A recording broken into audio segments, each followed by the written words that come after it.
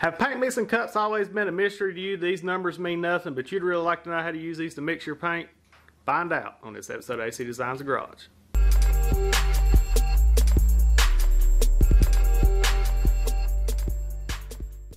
Alright guys, what I got here is a mixing cup from TCP Global. They're a pretty big uh, online paint seller and stuff. Bought a lot of stuff from them. But I think I got these off of Amazon. It still comes to these guys, I think. But I'll list it in the description below. You can just go click on it. It goes to my Amazon affiliate account. Don't cost you guys anything extra, but it'll help channel out a little bit and give you a good place to go pick these up. But these are a good cut because they have the two to one.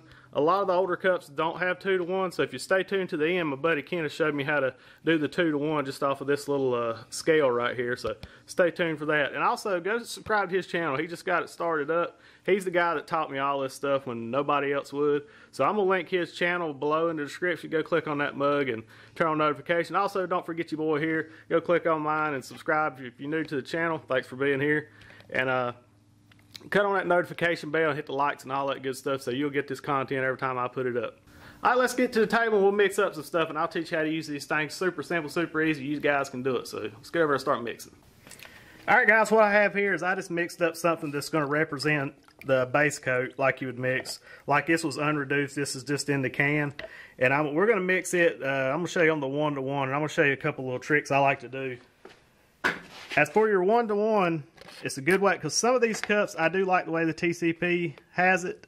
Some of these cups like this have a bunch of lines going around and stuff and it gets mixed up and they actually have the separate colors to separate each each mixing ratio. But this is a good habit to get into till you really get used to it.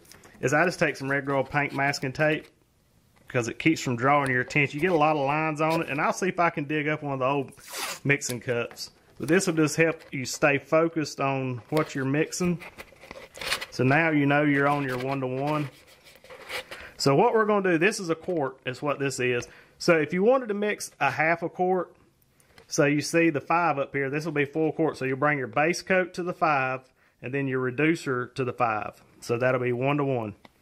So if we was going to mix half, or roughly a half, I guess half of five is two and a half. So probably what I'd mix if I wanted a half a quart was I'd mix the three. It'd be just a little much. So that's what we'll do on this one. We'll mix the the three up and I'll show you how to do it. Okay, 90% of the time I'll say, but read your cans because right here I'll show you real quick. This is an old uh, epoxy can.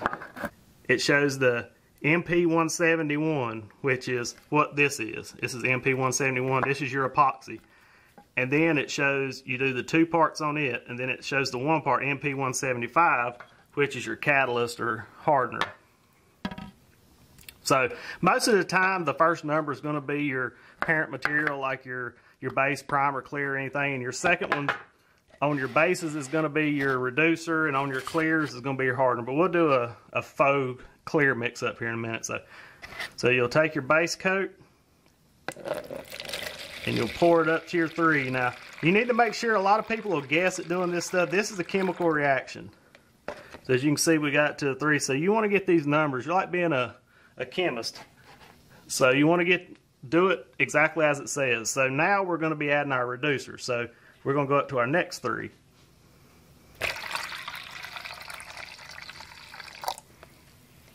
And then just make sure you stir it up really good. A lot of people skimp on this, so I like to spend a minute or two stirring this just to make sure everything's incorporated real good. And then make sure you always use a paint strainer I'll uh, link some of those in the description below when you're poured into your gun. So this will be your base coat. This is your one-to-one. -one. It comes up, so it's roughly almost two and a half, really half of this, but we did the three, so there's your half quart mixture. All right, let's get on to mixing the two to one. All right, guys, just want to let you know we dropped some merch. I finally got to the 10,000 subscriber mark where I can put merch up, and I appreciate every one of you guys, all 10,000 of you. I think it's up to 11 now. But anyway, make sure you uh, go below the description there if you want to pick you up one of these t-shirts. I got t-shirts and the hoodies. Pick you up one, help support your boy here.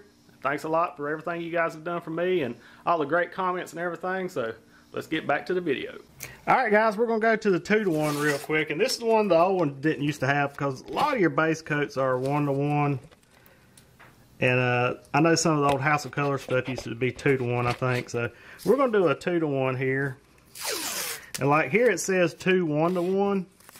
Now some, I think there's some base coats out there that may have a hardener in them. and that's where you just uh, follow directions that's on your paint can. Like I said, don't don't ad lib it or nothing like that. Just try to follow your directions. All right, guys, we're gonna pour up the two to one. We're not gonna worry about the second one. So what you can do, because when you're first starting out, this stuff can be a little challenging. So we're not gonna, because you're trying to get everything right remember everything. So let's not leave nothing for play. We'll cover up that one on the end. So we're gonna do the same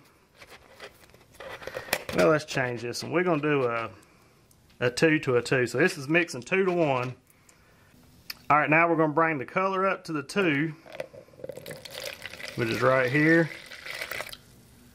All right, keep her dead on the line. And then we're going to get our reducer and go up to the next 2, which will be here. So that'll be mixed 2 to 1. And then just like we did on the 1 to 1, you'll give her a good stir pour it through a paint strainer, and that right there is ready to paint. So now I'm going to show you a common, like a clear mixture. And everything, once you get this down pat, it's super easy. All right, guys, here's an old can of old 2002 uh, PPG stuff I had laying on some high solids clear. I'm going to show you how it mixes on it. Now, this is why I say pay attention because I'm not sure if different manufacturers have different the way they read it, but see it says on the four, which will be your clear coat, the DCU, and then on the one here, this one has the reducer going first. And on the next one, it's one for the DCX hardener. So just make sure you pay attention to this. Most cans will have it, or if not, you can go online and figure it out. But mix it the way they say to mix it. And uh, like I say, four parts clear to one part reducer to one part hardener. So that's what you need to pay attention to, guys. So we're going to do that. I'm going to mix the four one to one. So go around here and find your four one to one, and uh, I'll show you how to mix that up. All right, guys, just like we did before, like I said, I found some of my old mixing cups, and you can see how there's so many lines and numbers. It'd be easy to get distracted when you're trying to do this. So this is a good. These TCP globals are really good because they separate them good. But it's a good habit till you get used to doing it, and just uh, lay it out with tape like I said, that way I've done it before. I've gotten questioned myself mixing stuff. Did I put the wrong? Did I do a half part from the other side on the other ones?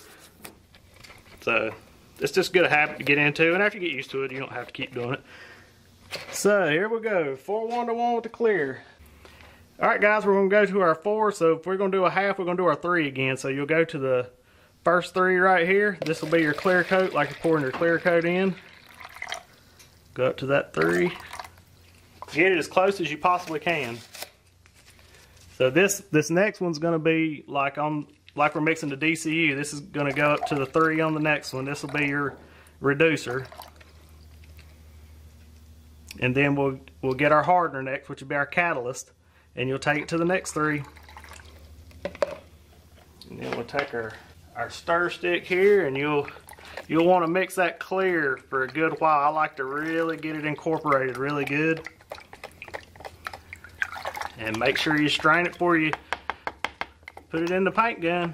Because you never know, stuff can fall off the top of the lids, dust particles, anything, and you don't want it in there. It can clog up your gun. So run it through a strainer or two. It's not going to hurt to put two strainers in. Some of these, they're a little more coarse mesh that don't have as tight a mesh. So basically, guys, that's how you do it right there. Now, now we're going to go to the trick here. So say this, let me look this other cut. It has two to one. So say this one does not have two to one. And you're mixing a epoxy or whatever you're mixing up this got to be two to one. You're like, man, I just don't know what to do. This is your tip of the day here, supplied by Mr. Kenneth at Sherrill's Automotive. it's what he taught me years ago. So I can show you the difference. I'm going to use the red that I use for my base coat. And this could be anything, whatever you're using this mix two to one. Okay, we're going to go ahead and take this off so it'll get, because I don't know how good you guys can see it. Because those cups being clear makes it a little harder to, to be able to see this stuff.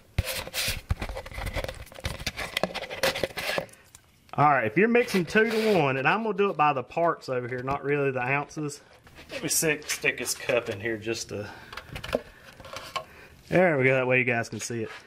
Okay, the way you're gonna do this to mix, now we're mixing uh, two to one, that's what we're gonna mix. And we're going to do it by the parts here. So you got 1, 2, up to 16. So if we're going to mix, we'll do a 5 just for, we'll use the 5 part thing. We're going to use the 5 here. So what you do is you take, this is going to be your, uh, we're going to call it your base coat. So you, do your 5 and you take and minus half of 5. So whatever half of 5 is, is going to be your 1 part. Okay, half of 5 is 2 and a half. So we're going to go 1, 2, so 7 and a half is going to be your reducer or hardener if it's either one. So if you pull it up to the 5 with your base coat or whatever you're using and then you reduce it to 7.5 then you're going to have your 2 to 1. So let's do that real quick. So we're going to do this just so you can see it.